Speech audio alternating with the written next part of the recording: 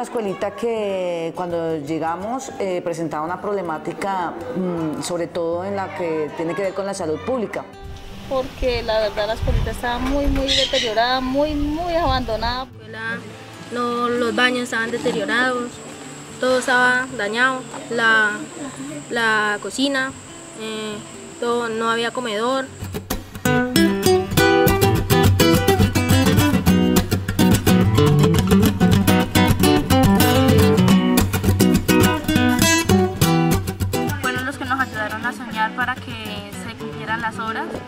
La Fundación Yapaguaira eh, trajo cosas positivas para la institución y alrededor de eso pues ha mejorado mucho la calidad de los estudiantes.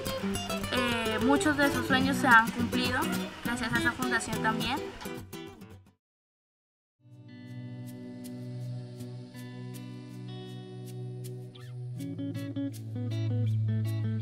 Yo nunca tuve un día de estudio, entonces me vi, me puse a mirar una cantidad de niños que no, no tenían ese estudio, también iban, estaban quedándose como me quedé yo sin estudio. Fue lo cual me llevó a, una, sentir una necesidad de, de, comenzar a, gestionar. Así fue como logré que nos abrieran una escuelita allí.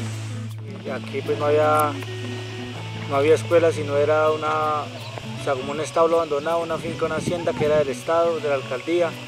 El presidente gestionó con, toda, con una parte de la comunidad para conseguir pues, que nos aprobaran la escuelita. Eso fue un proceso porque la alcaldía no nos quería ayudar. Siempre era algo decadente. Eh, estaban en malas situaciones, por decirlo así, varias partes de nuestra institución, como podían ser lo que eran los comedores, la cocina, baños, mallas.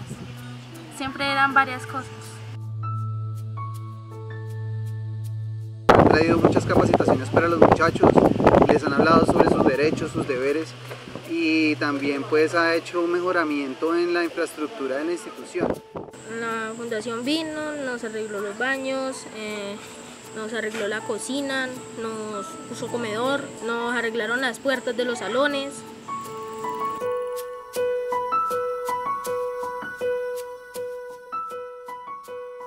Bueno, eh, fueron varios talleres. Uno de ellos fue más o menos el de que hicimos un atrapasueños. Este nos ayudó a que nosotros reveláramos los sueños que nosotros teníamos, lo que queríamos que pasara en nuestra institución, que lo que queríamos también que se hiciera, que se llevara a cabo. Eh, muchos de esos sueños se han cumplido. Los talleres fue algo para mí, algo muy importante derechos que tenemos nosotros como colombianos, que prácticamente nosotros vamos a la oficina y nos cierran las puertas y nosotros nos devolvemos porque no sabemos dónde tenemos que ir a golpear, que hacer un derecho de petición no tenemos conocimiento de nada de eso. Eso nos lo enseñaron pues los talleres que hicimos acá. Yo aprendí que, que los sueños se pueden hacer realidad. Nos enseñaron sobre, sobre a convivir con nuestros compañeros, que las mujeres no deben de ser maltratadas y, y que las mujeres tienen el mismo derecho que los hombres.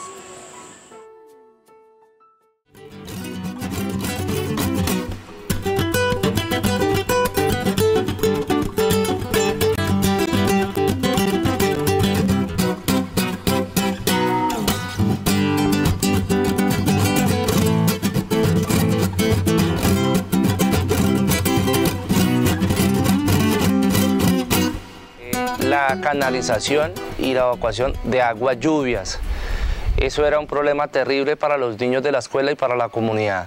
Nos levantamos al otro día y encontramos el plantel educativo en inundación total. Con la tubería de lo que son las aguas para el recogimiento de las aguas lluvias, que pues había colapsado y ocasionaba que la escuela se inundara y se ocasionaran pues consecuentes problemas de mosquitos y de gripas y todo lo que esto conlleva. Entonces no podían salir los niños al, al patio por lo mismo, porque estaba inundado, estaba todo lleno de tierra y no podían, no podían salir los niños por lo mismo.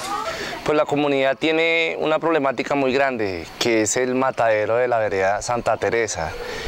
Ese matadero está muy cerca de la, del plantel educativo de la vereda Santa Teresa y pues obviamente nos está haciendo unos impactos ecológicos, sociales y morales para la comunidad. Ahí en eso Yapaguaira entra a jugar a favor nuestro, dándonos la asesoría para que argumentemos buenos documentos para pasarlos a la Defensoría del Pueblo. Cuando se tapaba la alcantarilla teníamos que traer tapabocas y, y para no poder oler ese olor que huele muy a feo.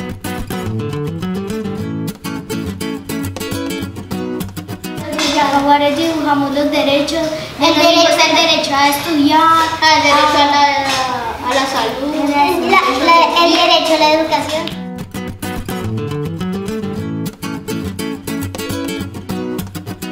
Las charlas que nos da Yapaguaira, que es sobre denunciar las peleas intrafamiliares. Mejor dicho, uno realmente sí necesita la, la ayuda de la fundación. ¿Por qué? Porque ellos nos ayudan, nos ayudan a corregir y nos ayudan a guiar cómo uno puede denunciar, cómo uno puede hablar, con quién se puede hablar.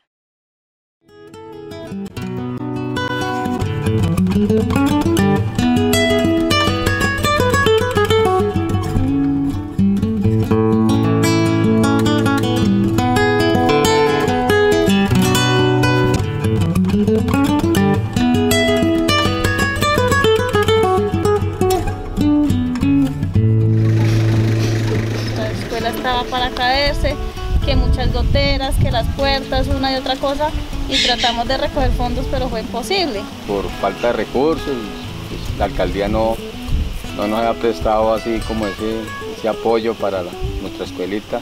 Pues gracias a Dios, eh, ya con la Fundación Yapaguaira se, se pudo lograr ese recurso para, para poder eh, darle como otro aspecto y un mejoramiento a la escuela. Desde que vino la Fundación Yapaguaira hemos tenido un apoyo. Ellos vienen a hacer un proceso para mejorar la estructura de la escuela, para condicionar los espacios. Donde nos retroalimentaron y saber pues que, que no estábamos solos.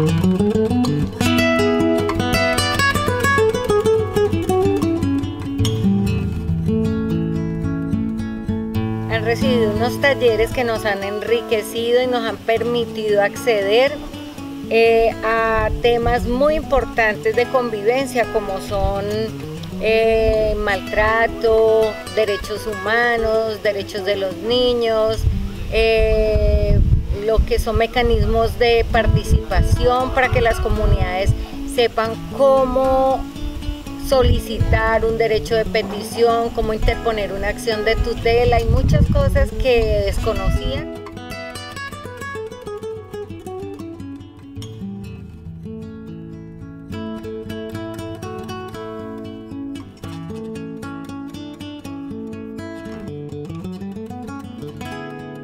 Estamos volteando la página, más no estamos cerrando el libro.